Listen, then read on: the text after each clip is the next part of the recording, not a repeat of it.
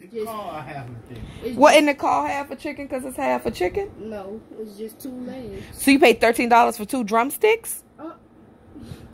No, not legs, thighs. You paid. I hate. I hate thighs. First of all, you paid thirteen whole dollars for chicken thighs. Yeah.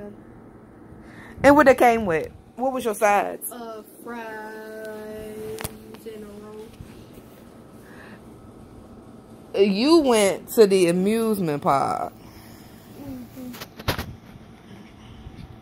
and bought a half a chicken. Two thighs. You went to the amusement park like an uncle and bought two chicken thighs. I didn't know it was two chicken thighs until I got it on the tray. Okay, but I gave you forty dollars. So $30. okay, you got thirty dollars. So you bought chicken thighs. And what else you do with my money?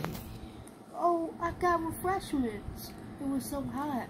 You said you had a drink with your chicken thighs. Won't you refreshed? Well, that was That one seventeen dollars right there, right? Yeah. Okay, well I gave him thirty. So that left me with thirteen dollars. Okay, so what else he needed? Soda. After that, Uh-uh. I didn't even get soda after that. Well, what was refreshments then? You just said you got refreshments because it was so hot. I bought the refill cup. oh good, good. But I That was uh don't thirteen dollars. It's it was fifteen dollars. I I don't know how. Oh, Mr. Trey gave me the seasons pass, so I got some money on. Where the cup at? I don't know. That's what I was about to say. I think I lost it on the charter bus.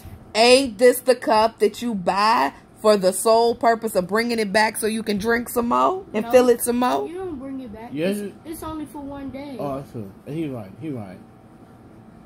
Oh. Oh, so you bought chicken thighs with my thirty dollars. Mm, oh my Just say goodness. yeah. Yeah, yes. I bought chicken thighs for thirty dollars.